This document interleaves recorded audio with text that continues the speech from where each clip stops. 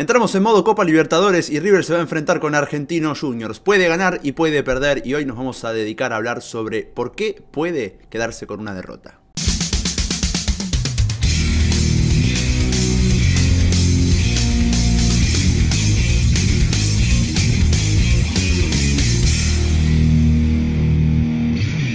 Hola amigos michos, ¿cómo andan? Les doy la bienvenida a un nuevo video en mi canal.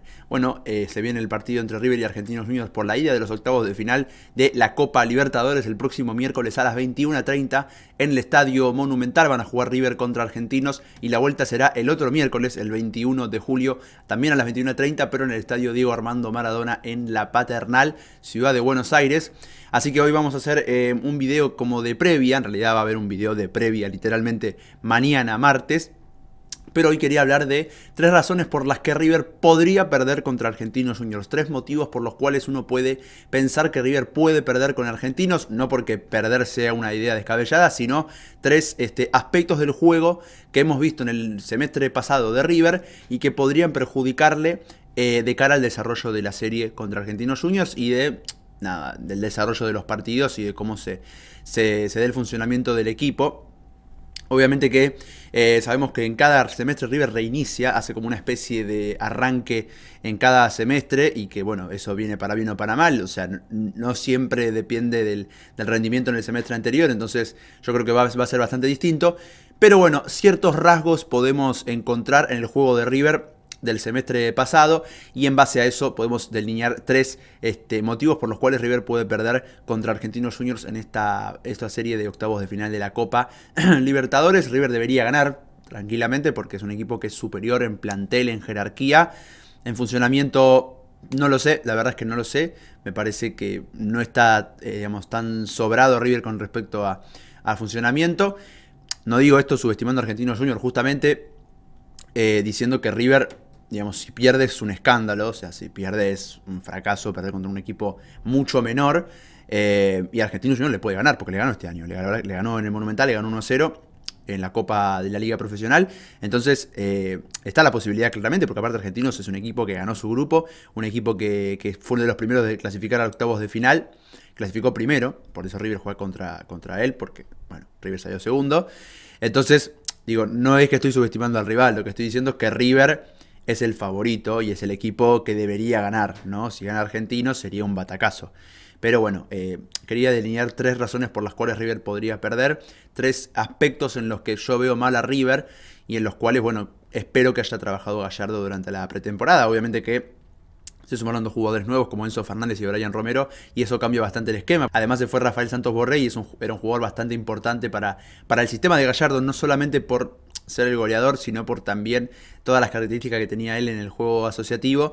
Entonces, bueno, Rafael Santos Borré es una baja de peso importante y ahora vamos a estar hablando de eso. Y bueno, por lo pronto no se va nadie más. Hasta el momento de la grabación de este video no se va nadie más y no llega nadie más. Pero Enzo Fernández y Brian Romero vienen desde Defensa y Justicia y se suman a River. Así que eh, bueno, va, a cambiar mucho las cosas. También va a estar disponible Pinola, que el semestre pasado se lo perdió casi completo por una fractura en el antebrazo izquierdo.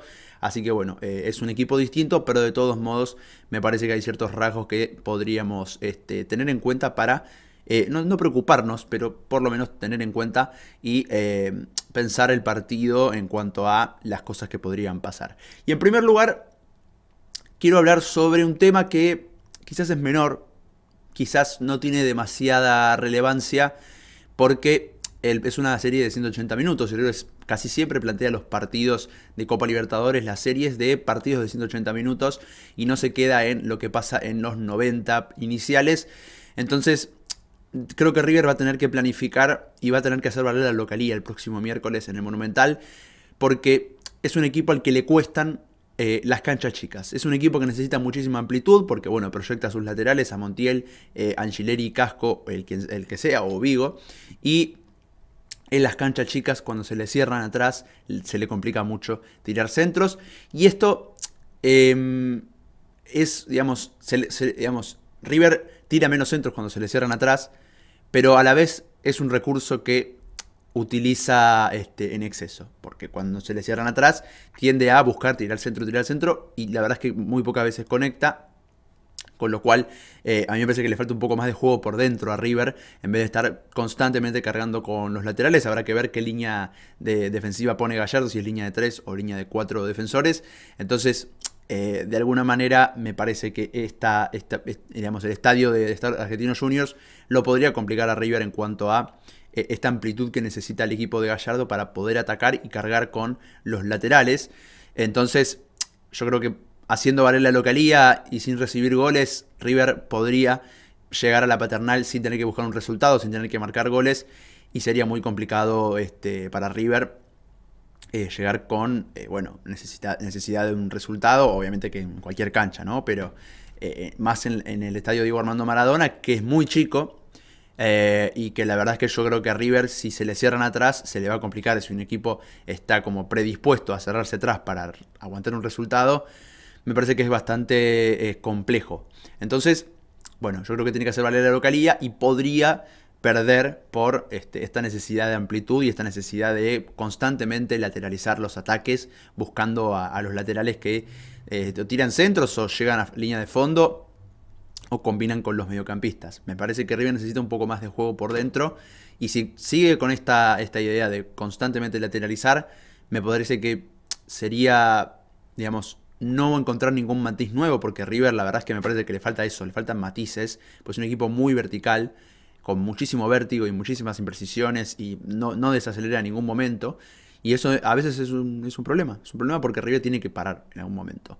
Con lo cual me parece que en este sentido eh, esta lateralización de los ataques y este vértigo constante que le pone River me parece que le puede hacer perder el partido por desesperación, porque llega un punto del partido en el que River, bueno, empieza a, constantemente tirar centros y a, atacar sin pensar, bueno, esto podría ser un motivo por el cual podría perder. En segundo lugar, quiero hablar un poco del sistema defensivo de River. Hemos hablado sobre la defensa que tiene en el video que analizamos al plantel y yo decía que, bueno, tiene una gran defensa, porque para mí tiene una defensa que puede ser campeón de América, con Montiel Díaz, Martínez y Angileri, y en el banco tiene a Vigo, Maidana, Pinola y Casco. Eh, me parece que es una muy buena defensa. Lo que tiene que trabajar es el sistema defensivo. A ver, yo creo que en el, en el primer semestre de 2021 y hace un par, hace un par de años ya, me parece, por lo menos desde 2019, que River eh, tiene muchísimas complicaciones. En 2019 en realidad no, pero a partir de 2020 tiene complicaciones como para jugar eh, con una línea de 4 y no sufrir defensivamente. Entonces, por eso la línea de 3, que a muchos me preguntaban si estaba a favor, si estaba en contra. Yo no es que esté a favor o en contra, yo creo que la línea de 3 sirve para algunos contextos, pero que a la vez es una necesidad para River, muchas veces. Es un equipo que no puede jugar sin línea de 3 porque proyecta demasiado a sus laterales y proyecta los dos a la vez. No es que sube uno y el otro se queda, proyecta los dos a la vez y muchas veces en el retroceso los equipos rivales se encuentran con muchísimos espacios. Entonces, hay que ver si con la llegada de Enzo Fernández, y no sé si va a ser titular, pero si es titular, me parece que River debería apuntar a contener más en la mitad de la cancha que darle eh, libertad a Enzo Pérez con una línea de 3. Yo creo que con una línea de 4 y, los dos Enzos puede tener una buena contención y puede contrarrestar ese retroceso que le queda este, en inferioridad numérica cuando se proyectan los dos laterales y para eso necesita muchas veces la línea de 3. Y con la línea de 3 resignas un mediocampista y perdés juego por dentro. Entonces, a mí me parece que eh, defensivamente, River debería haber trabajado en la pretemporada, asumo que lo hizo, el sistema defensivo, eh, con dos componentes fuertes en la mitad de la cancha, con un Enzo Fernández que cubre muchísimo terreno y con un Enzo Pérez que también puede recuperar más adelante, ahora que va a estar más libre, en el caso de que Enzo Fernández sea un jugador que se vaya acomodando al movimiento de Enzo Pérez. Eh, me parece que agregar un mediocampista como Enzo Fernández podría hacer esa función que tenía la línea de 3 de primero cubrirse entre los, entre los centrales y también cubrir a Enzo Pérez, que es un jugador de 35 años y no puede hacer tanto recorrido como el que viene haciendo. Así que me parece que la llegada de Enzo Fernández es una, es una buena noticia, pero River podría sufrir por lo defensivo, porque la verdad es que en los retrocesos le está costando muchísimo y eh, digo, cuando hay un 9, un 9 de área, una referencia, siempre apuntó a la línea de 3 para poder jugar ese mano a mano y que el central eh, sobre y que jueguen bueno, los dos centrales con, eh, digamos, el libero sobre y los dos centrales marquen al, al 9, con Ábalos sería, podría ser un problema, así ahora se suma Reñero, bueno, la verdad es que eso podría ser una razón por la cual River podría perder. Y por último, una razón por la que River podría perder, en realidad por la que no podría convertir, ¿no? Porque, a ver, no, estoy diciendo esto por la salida de Borré. Claramente la salida de Borré es importantísima. Gallardo todavía no sabe a quién, quién lo va a reemplazar porque tiene a Brian Romero, que es el goleador del campeón de la Sudamericana. Pero, digo, también es una apuesta. De alguna manera es un jugador que no sabes todavía si te va a rendir o no porque todavía no jugó, claramente. Pero es una muy, es una muy buena incorporación. Lo que pasa es que Gallardo todavía no sabe si va a ser el nuevo titular de River. Entonces, a un equipo que venía con ciertos problemas de definición, que para mí no era el problema principal, para mí la creatividad el problema principal de River y la falta de pausa que, tiene, que, no tiene en el mediocampo. Eh, pero también tenía problemas de definición. Y si se te va tu goleador, tenés un jugador como Suárez que te genera espacios, pero que no convierte demasiado. Tenés a Julián Álvarez que sí convierte más y asiste, asiste un poco más. Y te está faltando un componente que todavía no es claro. Entonces, ahora en octavos, que es el primer partido del semestre, para mí es una locura que el primer partido del semestre sea en octavos. Bueno, bueno, es lo que aprobó Conmebol y todos los clubes.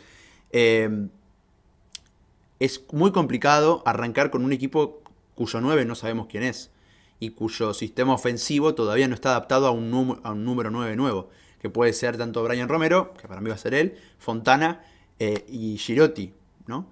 Entonces, eh, en ese sentido, yo creo que eh, Romero va a ser la, opción, pero que River está todavía verde en ese sentido. No es un equipo que todavía haya aceitado un sistema ofensivo con un 9 en particular. Jugó amistosos contra equipos muy menores, amateurs de Estados Unidos. Entonces, debería, debería pensar en eso, ¿no? Debería pensar en qué puede pasar con el ataque. Y yo creo que esta falta de definición, eh, sumada a que se le fue el goleador y que todavía no tuvo rodaje un nuevo ataque, un nuevo delantero como puede ser Brian Romero, me parece que esto le puede traer problemas a la hora de convertir y de hacer diferencia frente a Argentinos Juniors. Pero estas son tres razones, digamos, yo le llevo siempre a la razón de perder para seguir un poco con la consigna, pero en realidad son tres problemas que yo creo que River puede haber resuelto en la eh, pretemporada, que puede haber cambiado y que ahora va a tener que ver. Pero yo me quedo con algo que eh, pasó el año pasado. El año pasado sucedió que River volvió a jugar después de seis meses contra San Pablo, un equipo que venía jugando 13 partidos, me acuerdo porque en ese momento preparamos el video y San Pablo venía jugando el Brasileirao y, jugaba, y había jugado 13 partidos. Y River no había jugado ninguno desde el parate por la pandemia, eh, desde marzo hasta eh, cuando fue agosto, por ahí, River no jugó ningún partido y volvió a jugar con San Pablo y, no, y digamos, no sufrió. Porque yo creo que River con la Copa Libertadores cambia el chip pone otro chip y se pone las pilas y juega de otra manera. Por eso en la fase de grupos me gustó mucho el, rendimiento del equipo, más allá de lo que le pasaba en la Copa de la Liga.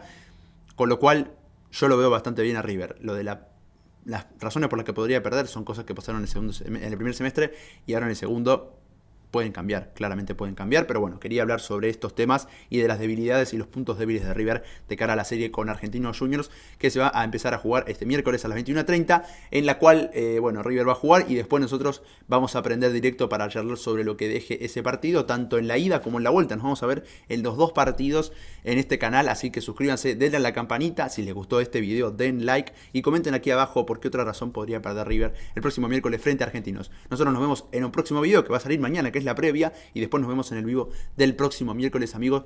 Hasta luego y que vaya bien.